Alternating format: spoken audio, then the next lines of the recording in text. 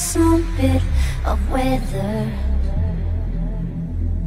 We lost nothing, nothing in the hurricane. So why freeze now? This is not a stick up.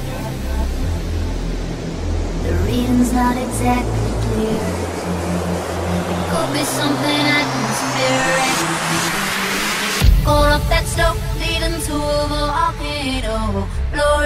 up right into a volcano. And if it blows, then we'll go out with a bang. Oh, last thing we'll know is the blast of a volcano. Going up that slope.